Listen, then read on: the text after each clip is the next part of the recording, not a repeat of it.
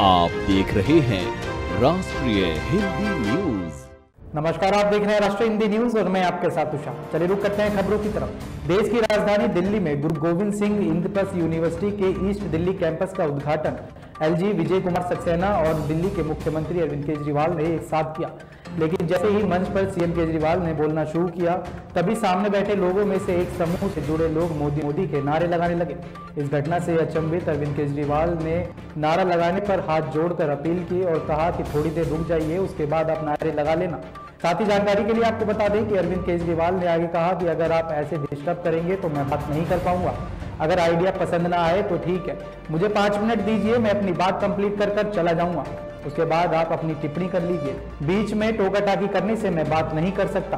देश के अंदर जनतंत्र है। अपनी बात कहने का सभी को अधिकार है। मैं गाली गलोच नहीं कर रहा हूँ। जो बोल रहा हूँ वो ठीक है।